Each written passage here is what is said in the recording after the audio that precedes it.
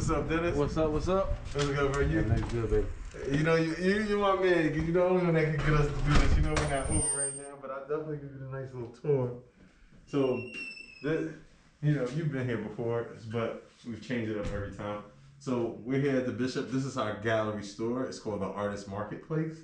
And the tagline for the store is where art and commerce meet. And the whole idea here is to provide a platform for artists to sell things that are inspired by or derivatives of their artwork. Everything from prints to clothing to different products. You see, we have these like watches, these handmade silk scarves, these buttons.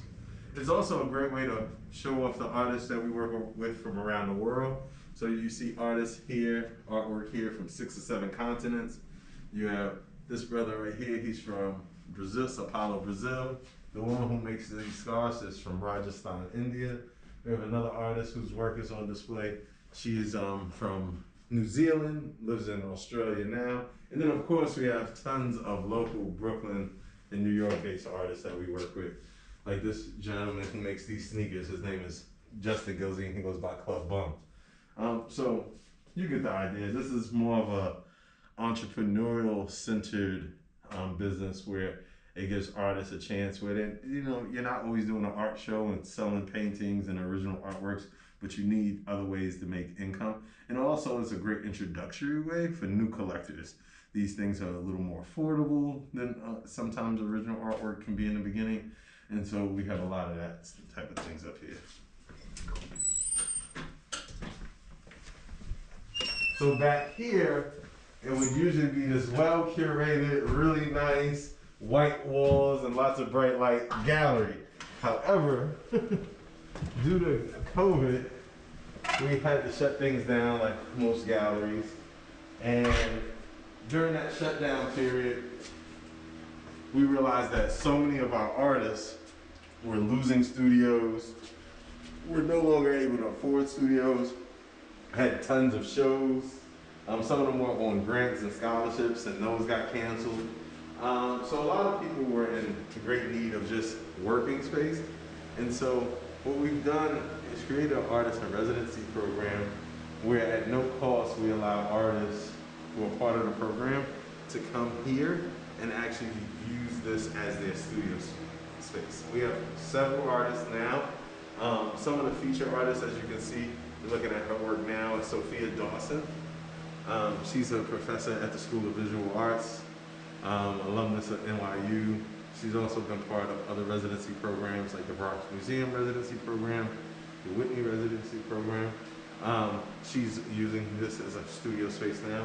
You also have artwork from, this is another example of an artist who's here now. Her name is Kiana Parks.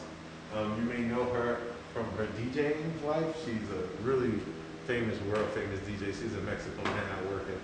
Um, but she only DJs because she paints. She started off DJing by making playlists for her to listen to while she was painting in her studio as a young girl.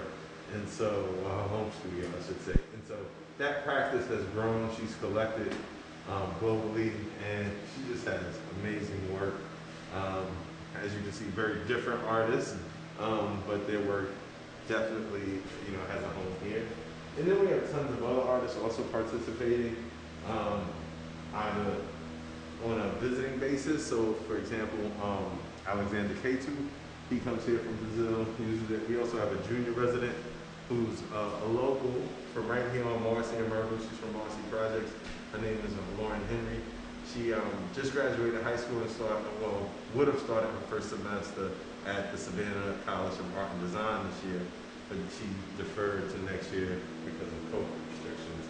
Um, so, but the whole idea here is to provide a platform for artists. So it's a lot busier, a little messier than usual. Um, but that's because it's a living, organic place. People are in here two in the afternoon, 2 a.m. creating. Man, I love it. I really appreciate you coming through here to uh, make time for me. Um, now uh, let me show you the rest of the studio real quick cool. before you get up out of here. Yes, sir. So we have another artist in residence. He has a a maker space over here where he's creating a variety of stuff, not just artwork.